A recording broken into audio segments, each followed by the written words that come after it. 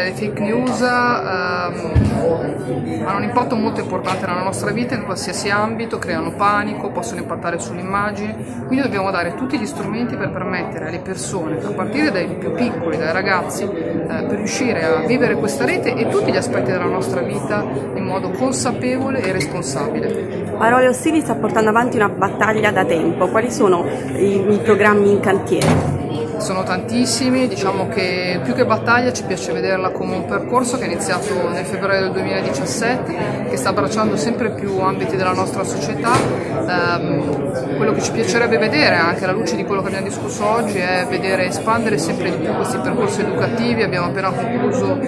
stiamo per lanciare un videocorso per gli insegnanti, riuscire davvero a portare questo percorso di formazione in ogni ambito della società. Ci saranno presto delle notizie anche dal punto di vista della pubblica amministrazione, perché sempre più città stanno seguendo il manifesto della comunicazione non ostile e questo è un messaggio forte perché comunque crea conoscenza, crea ancora una volta la consapevolezza che serve per cambiare eh, le persone, fare in modo che questa rete ci rappresenti sia un posto davvero bello in cui stare.